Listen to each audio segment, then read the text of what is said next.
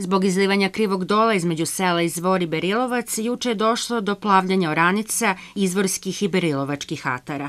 Poplavljeno je oko stotinu hektara oranica. Ovo je trenutak kada se zaista nešto moralo da, da se desi, kada je u pitanju e, poplava, kiša i tako dalje. Ovo je zapravo posljedica naglog topljenja snega i kiše i ovo što vidimo iza nas je zaista jedna tužna situacija i prizor koji će se pogoršati u naredno 2-3 dana, pošto ovde više nema kanala. Svi kanali koji su nekada postojali više ne postoje i normalno je da sad voda negde mora da ide.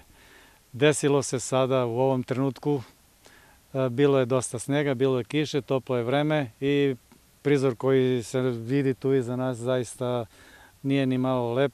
Zamenik predsjednika mesne zajednice Izvor Mile Tošić kaže da bi nadležne institucije trebalo da pomognu u rešavanju ovog problema kada se voda povuče, s obzirom na to da je potrebna i odgovarajuća mehanizacija. Čekat ćemo da se vode povuku, pa onda da radimo na kanalima, da se prodube kanali, da se pročiste i da se onda zaštiti taj deo gde su se obrušile kanali.